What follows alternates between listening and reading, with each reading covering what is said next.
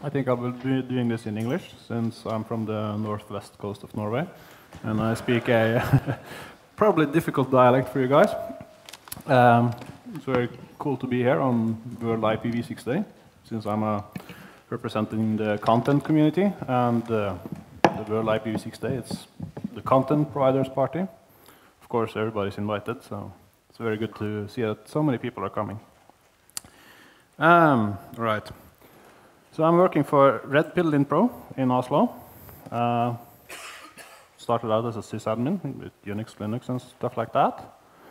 But as we grew, we needed like specialized people, and I started with networking and uh, infrastructure. So back in 2008, I had very little to do, so I started looking into IPv6, and I've been kind of playing around with that ever since.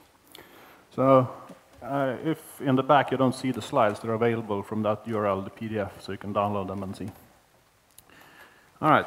Uh, Redpill Linpro is uh, a company uh, that's placed all over the Nordics. We have offices, many in Sweden and Denmark and Norway especially, and in Finland.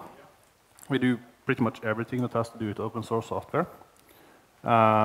My department is working on hosting and application uh, maintenance for our customers. So it's typically content providers that don't have a, their own uh, IT infrastructure or IT department, and they want somebody to just take care of everything that has to do with the computers and the servers and the applications so that they can focus on providing content. Uh, and that's the, part of the business that actually has a network to run and has IPv6. So uh, we are owned by an AB, uh, by Sjette, and um, headquartered in Karlstad. Yes. So, question. Uh, why should a content provider bother with IPv6? Uh, that's a very good question, actually, because there are pretty much no IPv6 able, uh, enabled users in Norway, uh, about 0.25%, and every one of those have IPv4 as well. So by enabling IPv6, we don't, we are not reaching a new audience in any way. And uh, an interesting point in this graph, you can see uh, the drops in Christmas and in summer. Uh, it's because all of these people, or almost all of these people, are students in the student villages in Oslo and Trondheim. So when they leave for holiday, then the IPv6 usage is going down by about half.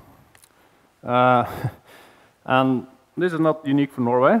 This is my colleagues in Google's graph, and they're seeing this on a global scale. It's pretty much exactly the same number, 0.25%, uh, so 1 in 400.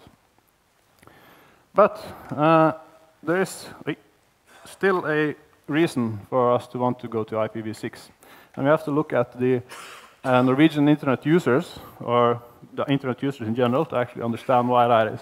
There's an example of two of them. Uh, they have mobile broadband and GPS tracking. So they are actually connected to the, the internet. And for those of, uh, or the people in Norway saying, ah, Norway is a saturated market, we don't need more IP addresses, because everybody already has broadband and everybody has a phone. These are the new ones. So uh, here's a crowd. They're happy. They're using IPv4, uh, which means that we can set up a web server that's already also IPv4 and everything works very well. Works very nice. They can access the content, and we deliver the content and the advertisement and everything, and yeah, works very well.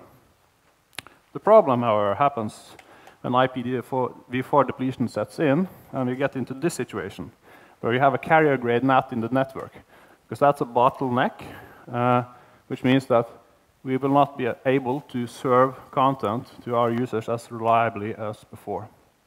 Uh, and that is something we're very concerned about. And some content providers are even uh, concerned about an even worse scenario, is that the ISP is going to take advantage of this situation by putting a competing content site inside of the NAT uh, and serve the users in that way. And uh, this has to do with network neutrality and everything like that, but there are some worries that ISPs are going to go down that path. And thus, making people that want to serve content over the internet at a disadvantage. Um, so we are really worried about carrier-grade NAT and the extensive sharing of IP addresses that will lead to. As you can see from the picture, it works to actually share a resource that is meant for just one person with several, but it's not going to be very fast and it's not going to be very comfortable. Uh, we know that because uh, the CGNs need to keep track of the state of every flow in the network. And uh, the mobile carriers back home, they used to do that before, back when absolutely nobody was using the internet uh, over the 3G network, or the 2G network as it was back then. And then suddenly uh, Apple released that product that you everybody uh, are aware of that made people use internet over the, mobile network. And they kicked out the CGNs immediately because it did not work. It had too bad consequences on, on the user experience. Uh, so we want to avoid this scenario. We want to give our users the best possible performance, and CGNs is going to be a, a, problematic element in the path uh, when it comes to that. Also, there's also other problems like uh, geolocation. You can't really geolocate the users anymore uh, because the IP addresses belong to the CGNs and they might be shared in between users all over the country, all, all over the the continent for that matter. Uh, you can't do abuse the way, uh, or abuse handling, mitigation, in the way you did before, because you can't block an IP address, you can't trace an IP address anymore. Uh, and IPv6 is a solution to all of these problems because it restores the direct path between the content and the end user uh, that was lost when the CGNs was introduced into the network. So the content providers really wants IPv6 in the future, even though there is no, no reason for it, like direct reason for it right now. So what we do then? Uh, uh, we try to break the chicken and the egg uh, scenario. Uh, because an ISP can easily say that, why should we bother with, with IPv6 when there, are, when there is no content available over it? And uh, likewise, the content providers say, if there's no end users, why should we bother with IPv6? And then you're stuck in a loop where, which you never get out of, unless somebody actually just steps up and just does it. And the content providers has done so. Uh, there are a tremendous amount of content available over IPv6 on the internet today. So all from small, small companies like the Soap Trail, which is my girlfriend's soap uh, store, and to Google and YouTube and, and Akamai and all those big ones. And you can see also the picture there is the Norwegian Parliament, which I was told in the break actually that they had deployed V6. So there's something for Riksdagen to follow. Um, so we went ahead and did it, basically, and just to put the ball squarely in the in the court of the, the ISPs and saying, now it's your turn to follow suit. Um, but we have been talking about dual stack brokenness a little bit before. That's really the only uh, good reason for a content provider to say, no, we don't want IPv6. The problem here is that you have the users that think that they have access to the IPv6 internet, and they have access to the IPv4 internet, and as, soon, as long as the server is IPv4 only, this is no problem because the defective IPv6 connectivity is never attempted. But as soon as you, you uh, uh, announce a quad A record on the server, the client will start using the defective IPv6 connectivity in preference to the IPv4 connectivity. Then there's a timeout. It can be from 20 seconds to 3 minutes. And if it doesn't work, then it fails over to the uh, IPv4 or the second IPv6 address if you have more of them. And uh, the page loads ever so slowly. Too slow for most users. They'll probably just give up and go somewhere else. So that means that since there are no IPv6 only users, you're not reaching any new users by adding IPv6. However, you're actually decreasing the amount of IPv4 only users that can reach you since there are those that believe that they have they have IPv6 while I don't. And that's a disincentive for the content providers to actually deploy because we want to serve as many users as possible. That's how they make their money. Um, so we decided uh, after we had deployed V6 in our data centers to like look at this to see if it was actually doable to deploy V6 or if the brokenness problem was too great and try to figure out what was causing it specifically and if there was something that could be done to fix it. So we asked uh, VG, which is the largest Norwegian website, it's a tabloid, uh, and A-pressen, which is a media house that has, I think, around 70 different local newspapers. So it's together, I think it's the fourth largest site in Norway. And uh, we try to use their visitors, which are completely non-technical, average Norwegian users, to figure out what are the problems. And we also shared the results of this experiment with anybody that was interested in learning about it. Um, so what we did was to actually include a little invisible iframe on, uh, on the home pages of those sites in question, uh, which in turn linked to two image files, uh, one that is IPv4 only as a reference, and one that is IPv6 or uh, dual stacked. Uh, and also the iframe was IPv4 only. So the assumption is that we will see the equal amount of hits to dual stack PNG, uh, the image file, and to the uh, IPv4 only image file. And if we did, then we know that there is no additional problem that is caused by dual stacking the, the element. But if there are, for some reason, fewer hits to the dual stacked uh, element than it is to the IPv4 element, then there is a reason for that that has to do with the dual stacking itself. Uh, and that's how we calculated it. The 100% is the amount of users that, or the hits to the iframe. And uh, the spread between the hits to the IPv4 only image and the dual stacked image uh, is what we call the amount of brokenness. Um, and as you can see, in this, this is an example, made up numbers, you have a, a brokenness of half a percent because we did, after all, produce an identical number of links to those two PNGs. Um, so when we started, we figured out that uh, there was about 0.2 to 0.3 percent brokenness uh, overall. Um, this was considered to be too much by those uh, uh providers, VG and A-pressen, so we didn't go ahead and deploy. Uh, but we continued measuring and kind of looked more into the numbers and tried to figure out what was going on.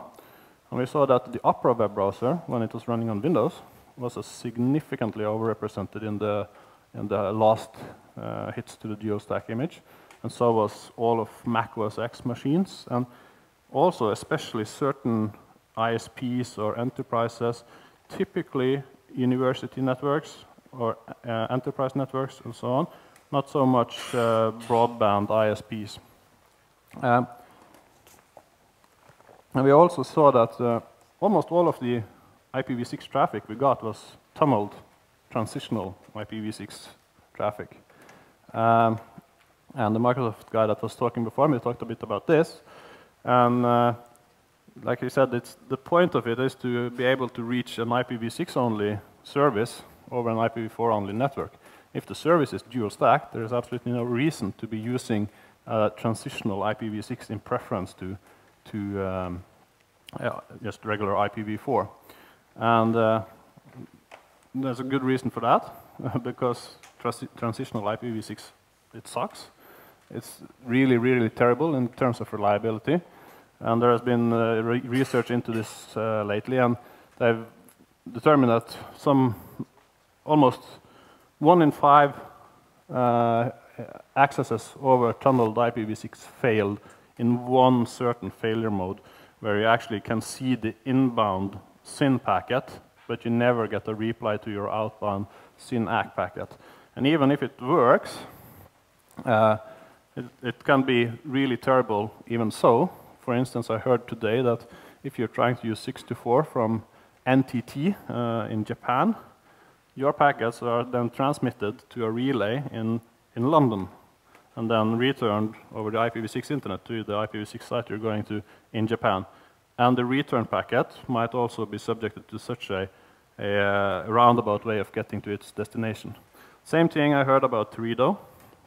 Uh, guy in Australia, the, the guy from APNIC that was researching this, uh, found out that his packets went to Europe. I think it was to Amsterdam, so it might have been Tele2's uh, relay there before going back to their destination.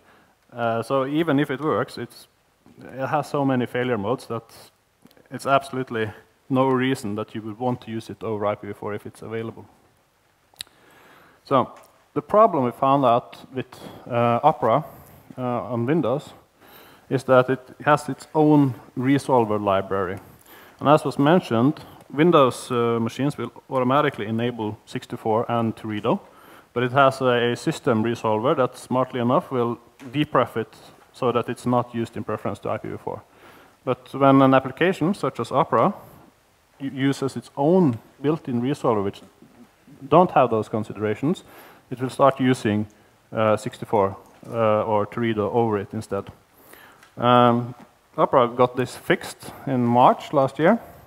And as you can see, the, the red line there uh, shows the, the actual measured overall brokenness in percent for the, all of our data.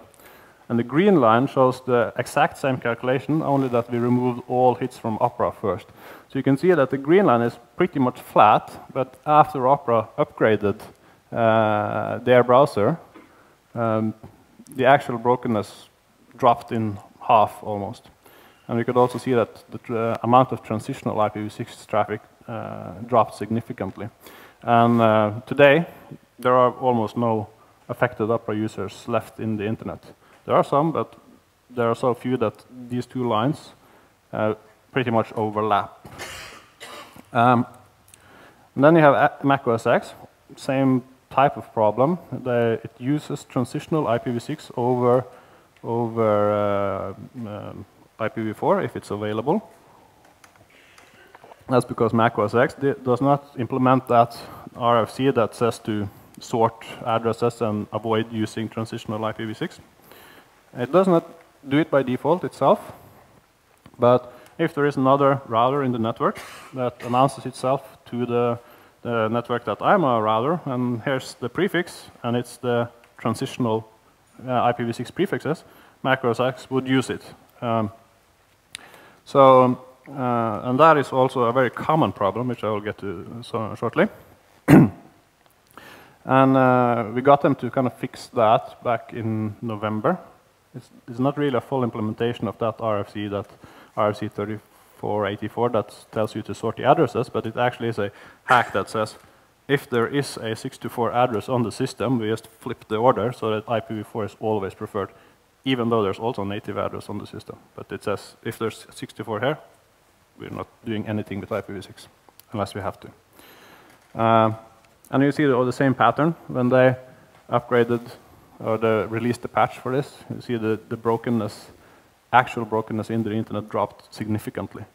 Um, so unfortunately, that is, there's still a spread between the OS X users or the internet as a whole and the internet without OS X. So OS X is still overrepresented. And that's mainly because this fix has not made it to the previous two versions of OS X, the, the uh, Tiger and Leopard, I believe it is. And if you're using a PowerPC OS X machine, you can't upgrade to the fixed version. Um, and the rogue RAs has also been mentioned. It's when uh, a router advertises itself as, or a machine usually, advertises itself as a router to the local network. Uh, and that typically happens with the 64 prefix. This cannot happen with Teredo, since Teredo gives you only one address, but it uh, will happen with 64, since you have a complete prefix. And um, if the network this happens on is firewalling the, the tunneled packets, which is common in enterprise networks or in, in university networks, then all the Mac OS X hosts that will receive this RA and prefer this connectivity will have no way of accessing a dual stack site without first waiting for a timeout. And we saw that uh, in in the University of Oslo student village networks, we had almost one in 10 hits uh, overall uh, failed uh, to the dual stack test image. And uh, we, if we had only looked at Mac OS X, the, it would have probably been up in the 60-80%. Um, and the most uh, often seen reason for these rogue RAs is uh, internet connection sharing, which was mentioned earlier, I think by you, um, as it will automatically enable um, 64.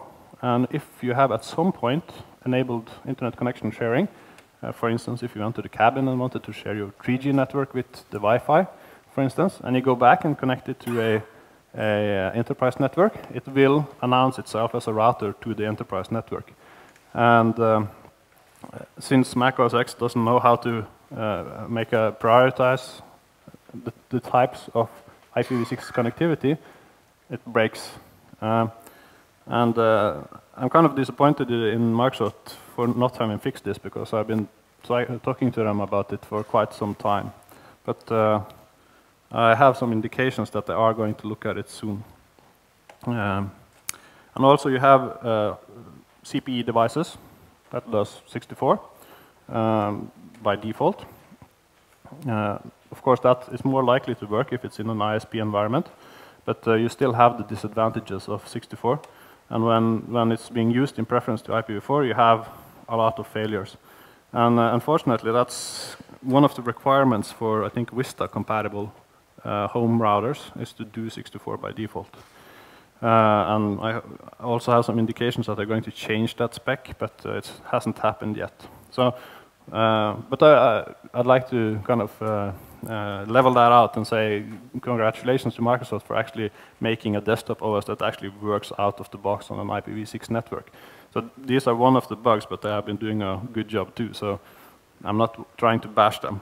Um, uh, in addition, the kind of the new uh, found knowledge about 64 has made the IETF go out and basically deprecate it, or it's about it just in the last editorial phases. And even the original author of 64 fully supported the deprecation document without reservations. So that's that's quite telling.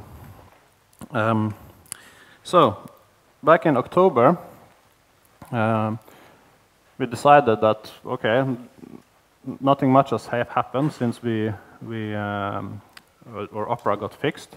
And we know that Apple is going to fix uh, the preference problem in 10.6.5, and that is due out. So we decided to do a 24-hour test.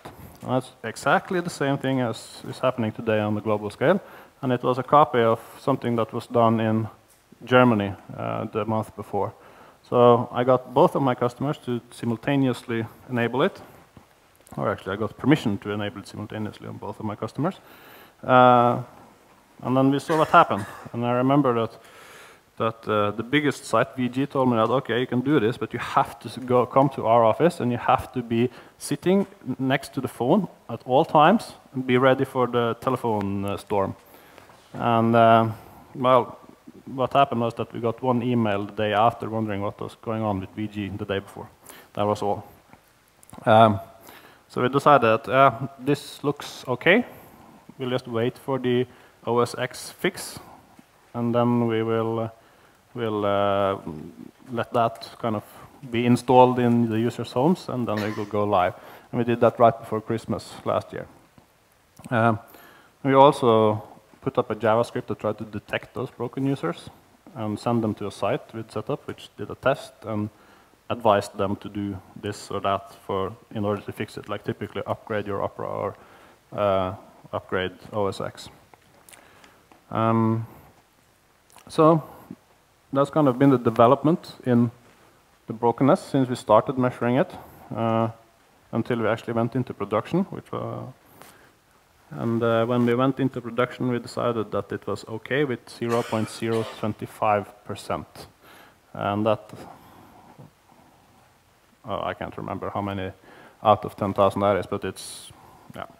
In any case, not that many. There's still a few, but and uh, last month, I actually disabled IPv6 again to do a new measurement. uh, because when we turn on IPv6 for the main site, the broken users will be lost at, at that point. I won't actually make it to the measurement system. So we can't measure them, we lose the insight. That's a kind of a problem, but um, if we kind of move beyond the brokenness problem uh, completely, then who cares? And in any case, uh, it has gone down more. Um, so last month it was at 0.015, which is 1 in 6,660 something users. Because there has been some other fixes, minor fixes, and we are hoping for some more. There's bugs in Windows, as I've been mentioning, and uh, also in, in OS X that hasn't been fixed yet. But I think Lion, Mac OS X Lion will be, have all the known fixes. So, uh, World IPv6 Day. It's probably why we chose this date for this event. Um, it's actually the exactly same thing as we did in October. Uh, all of the uh, content providers that are participating, uh, they have um, decided to at least turn it on for 24 hours and turn it back off again. Reason for this is because they're afraid of the broken users um, and giving a bad user experience to, to their, uh, their users. And um, since it's being done simultaneously, you, it's a shared fate. What Google, for instance, is very worried about is that if a user sees one day that Google is down, he'll go into his browser and change the default search engine to Bing, or vice versa. That's why I don't dare to do it alone. But uh, as long as they do it all at the same time, the, the risk is lower, and then it's easier to get management approval. And uh, one another uh, reason was to actually get so many big names aboard, so that if a user actually had problems, it uh, would be experienced as the internet doesn't work. So let's call my ISP and get help instead of actually saying, oh, okay, that site was down, let's go somewhere else today. Um, since we have did this before, we've kind of participated in the planning from the start. Uh, we're not participating directly ourselves, we, since we are already been there, done that, but we kind of have a way of participating, which is that we can we can host you if you want to have IPv6 for your website. Um, right. So, uh, will the internet break? Uh, that was what people were really afraid of, that this will be a disaster. Uh, I don't think so, or and I was right. Uh, I've been talking to all of these people in Google and Facebook and so on throughout the day, and they're saying that, well, this was boring. Nothing happened. but then again, that's the best outcome possible. So uh, th that means that it's not, not that terrible or frightening to actually deploy it, even for a global provider. Of course, there's been some hitches, but most of them have actually been content providers that have, that have botched their own deployment for some reason. For instance, level 3 for some time, if you entered their site over IPv6, you just got a 404. That's one problem. Or Juniper managed to botch their entire DNS so that the site went down both for v4 and v6 users. Those are the actually big problems that happened today, not, not the broken users. So, and that was exactly what we had in October. Audun Nyttedal, that's the, the uh, IT manager at VG, um, he was also disappointed that there wasn't more action, and that was back in October before Mac OS X got fixed. So no big surprise for me. Uh, but if there actually are people you hear about that had problems today, uh, the blanket recommendations would be to actually use one of the test sites that uh, exist in order to, um, to uh, determine if IPv6 is the issue or there's something else that is the issue. And if so, just make sure that things are upgraded, especially then Opera, Firefox, it has a bug. Uh, if in old versions, Mac OS X as well, and some firmware of some uh, common uh, routers.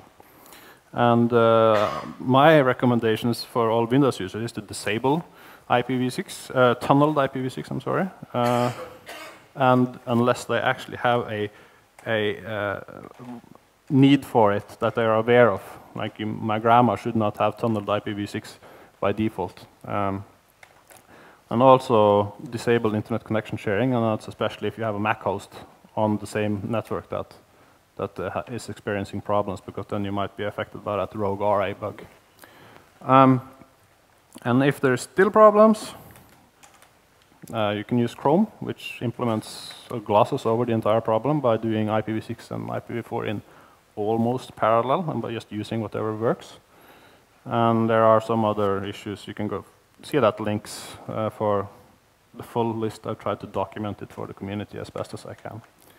And if nothing works, then disable IPv6 is the, the way out, unfortunately. I think very, very, very few users actually have to do that. All right, so that's, I hope, that's the last time I ever spoke about IPv6 brokenness, so you guys are privileged. Uh, I want to move past that and move towards just deployment and more happy stuff. Um, so how did we actually deploy? It's the next part. Um, one way of doing uh, an IPv6 deployment for a content site is to is to retrofit it by having a a proxy in front, proxy or a, a NAT system that actually accepts incoming IPv6 traffic and then rewrites it to IPv4 and then sends it to whatever IPv4 only system you have in the back. Uh, and that's kind of very easy to do. Uh, you need to have adequate performance on the translator, of course, especially if you suddenly get more IPv6 traffic overnight. Um, and one advantage is that you can actually outsource this function to somebody else uh, because the traffic between the proxy and the web server can run over the internet.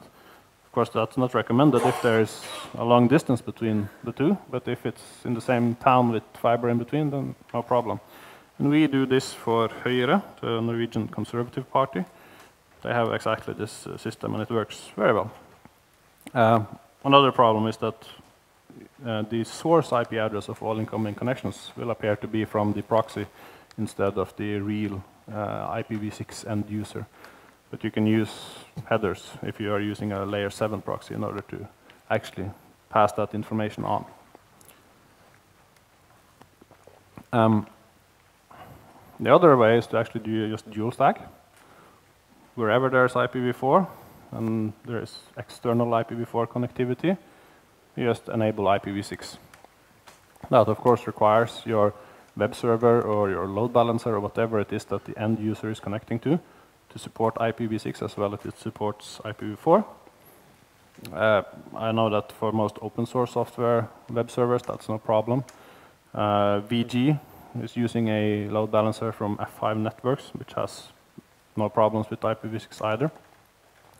Uh, and that's how we did it for most of our customers that have IPv6 enabled in our data center. It works very well. It's easy. Uh, and uh, kind of the only problem with it is that you have to um, have two protocols everywhere. And that's an overhead, both in maintenance and monitoring and uh, things that can go wrong. So the actual deployment, the, the configuration of IPv6 for for, uh, for VGN for A-Pressen was just a couple of hours each. It's very easy to do if your the front end of the site supports IPv6. Then it's just a matter of some config and it's done. And then you don't have to bother about actually changing all the servers in the back, like database servers or file servers or whatever. They can still speak IPv4 internally, and that's no problem, as long as the the end user can access you over IPv6 as well as you can over IPv4, then you've kind of done what needs to be done. Um, and what I want to try, instead of talking about brokenness, uh, I want to try actually disabling IPv6, no, IPv4 completely, and set up a system with web servers and file servers or whatever it is, a normal uh, commercial customer with only IPv6 in his server network. Uh, and that is uh, in order to avoid the overhead with dual stack. I have, want to have one firewall uh, rule set to, to configure. I want to do have uh, one set of monitoring. I want to have one set of IGP adjacencies. And of, as I was mentioning earlier, there is actually a, a fix for that coming in an extension to OSPF version 3. But if Cisco doesn't even know if they're going to support it or not, then, then uh, that might take a while before I can actually deploy it. And also the routing tables will re be reduced. People are telling me that you need to go remain dual stacked for, for 10 or 20 years. You can never turn it off, but I don't, simply don't believe that's to be true. As long as you provide some kind of uh, connectivity for the IPv4 end users, you can go IPv6 only on the actual servers. That's what, yeah.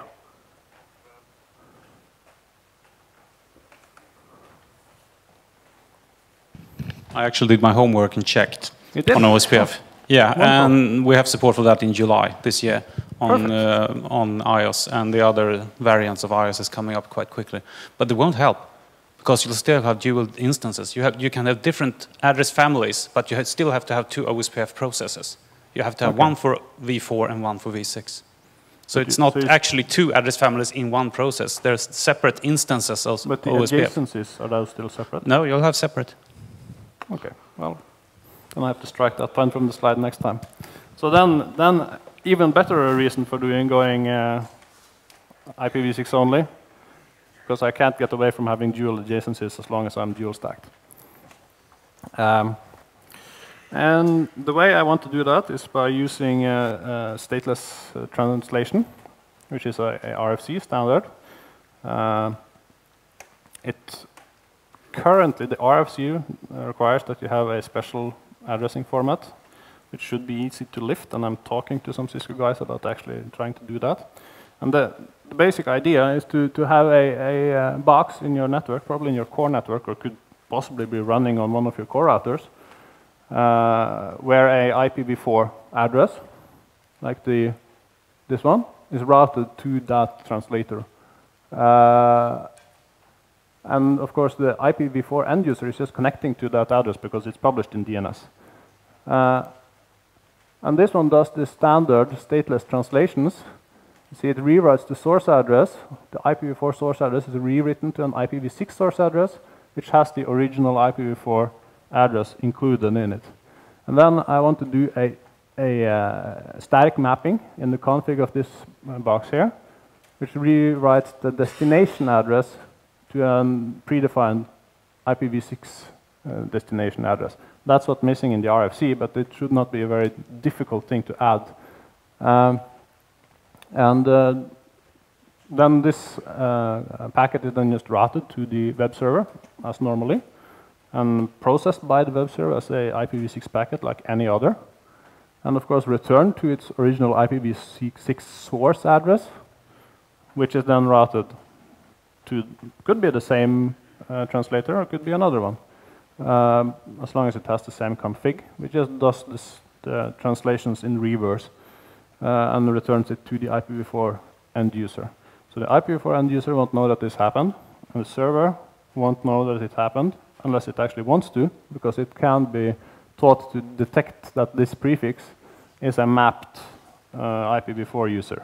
And since you actually can fit all of the IPv4 address in the in the IPv6 address, you can do geolocation, and you can do uh, log logging of the original IPv4 address instead of the mapped IPv6 address, and so on. And uh, since this can be done stateless per packet, there's no need for these boxes to keep state, so it's just a, a extra function of routing. You don't get any performance degradation. It can be accelerated in hardware, and they don't need to have state like a CGN or a stateful NAT device has. Um, and I think that's a very kind of elegant solution. It looks very elegant in my lab in, in, in my head. And uh, I believe that this is something that could be successfully deployed. Um, but I need a little bit of code change in, in uh, IOS if I want to use, uh, use it. So the advantages would be to that it's it's uh, I don't have to uh, think about dual stack for the servers or the or the front ends or the uh, network in between the core network and the actual server network. It can be all IPv6 only. And since it's stateless, like I said, performance is not an issue with this. And uh, I have the IPv4 address still, so everything I can do with an original IPv4 source address, I can do with this as long as I teach the application to strip the first 96 bytes. Uh, bits, of course, sorry. Um, and another thing is that that allows me to do IPv6 only on all the servers, the database servers and the file servers and whatever. They need IPv4 addresses today. And as you all know, we're out of IPv4 addresses. I'm not about to start doing NAT in a data center. That sounds like a madman to me. Uh, and um, if I do this, I can free up hundreds of IP addresses from my, my uh, a customer and use that as individual service addresses that are mapped to individual, uh, individual IPv6 only servers and or customers. So, and of course, the, the final benefit is that it, it treats IPv4 as, as a backwards compatibility uh, issue. So, if I have a uh, instead of doing the opposite way, where I translate IPv6 to an IPv4 only system, where I can only expect the, the load on the translators to actually increase as ISPs deploy IPv6. Here, the actual load on the translators will decrease over time as traffic moves to native v6. So it's kind of the forward-looking approach, which allows you to actually turn off IPv6, no, IPv4 in the end, or actually just leave it as a compatibility function in kind of the corner of your data center that you can just leave there. So I'm hoping that uh, the guys I'm talking to in Cisco is willing to, to work with me and getting actually running code that can do this. And I need a, a customer that is willing to actually do some pioneering work and try uh, to see if this actually works. Um, on time, wow, good. That's almost the end. Um, so I'll just continue doing what I've been doing, trying to dual stack the customers that are IPv4 only today, and hopefully do some research into IPv6 only uh, deployments instead of research into brokenness, which is just depressing, uh, and uh, trying to push ISPs and push awareness and so on, both home and internationally. And uh, I think that when the end users start showing up, then uh, the, the ball will start rolling and we actually get some, some real uh, deployments going. So, uh, and also because IP, World IPv6 Day turned out to be an anti-climax as I expected, there's not any real reason, I think, anymore that a content provider should be worried about actually dual stacking. So if it, it's possible for a content provider, if he gets the option doing it by default from his provider or just a simple retrofit of uh, IPv6 to his systems. There's no reason why I should be afraid of doing it, as so many people have been because of the brokenness issue up until now. So that's it. Uh, I leave with a, a, graph I like to show. Uh, it's the amount of uh, IPv6 enabled ASs or which means ISPs or enterprises or or big uh, content providers and so on. How percentage of those, how many have actually acquired an IPv6 prefix and is actually actively routing it in the global table uh, per country. And as you can see, Sweden is there. So you are in kind of the Scandinavian group here of Sweden, Denmark, Sweden, Denmark, Finland about one-fifth. And uh, I think, I, of course, I can't uh, take all credit for it, but I think that the work that has been done in Norway with promoting V6 both in terms of real deployments and actually having awareness building has caused us to go from uh, quite mediocre to top in the world uh, within a, a, couple of years. And uh, I'd like to challenge you to catch up with us the next time I come here. So you can't have this. Uh, right. So that's uh, the end of my presentation. Uh, that's some IPv6 enabled guys, as you can see. Uh, they seem to have lots of questions. I'm hoping that you do as well.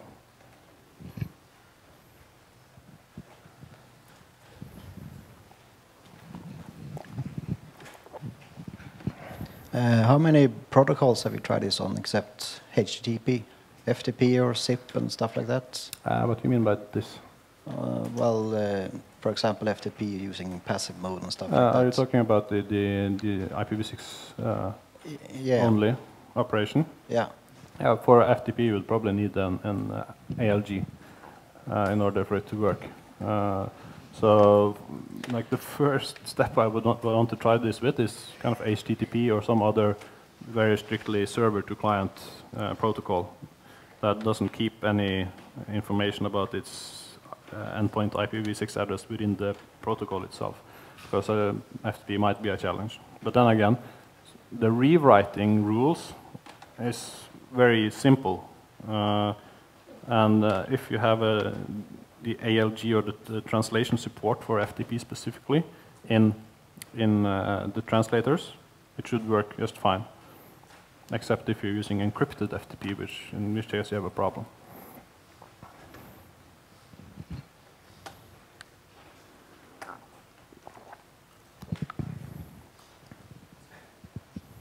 Any others? All right. It's late, so I can uh, understand. Thank you very much. Mhm.